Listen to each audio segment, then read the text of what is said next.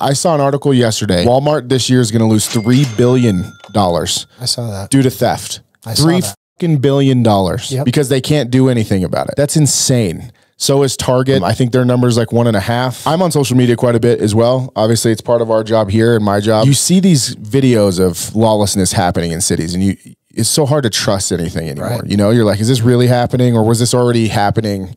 And they're just highlighting it now. But you're saying you have fellow colleagues still in the business who are saying it's fing pandemonium. Yes.